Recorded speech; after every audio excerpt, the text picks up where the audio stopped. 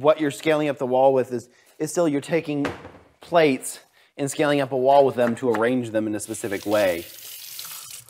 You know what I mean? Yeah, but it was just so cool how it was like that giant crossword. It was fun. Oh, it was a lot of fun. I want to do it again now that I know. The answers? Double eviction. Or we no, I'd want to do it again, but with all the new clues. Yeah.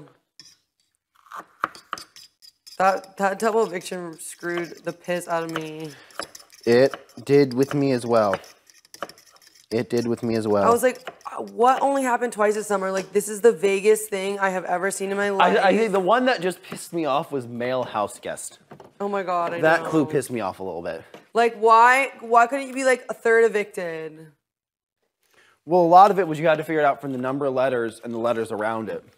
Yeah, like Audrey, know. I, only knew because the number letters, and I think it had the D from another word. No, it had the E Whatever it had, it was. head a- of household. hi.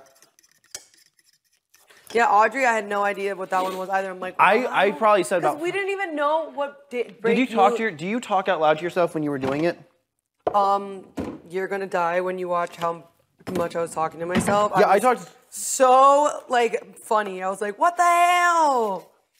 I said probably about my, my most common line was probably what the hell is bustin' moves? I know. I was like, yeah, I know. I was like, what is bustin' moves? I thought it was.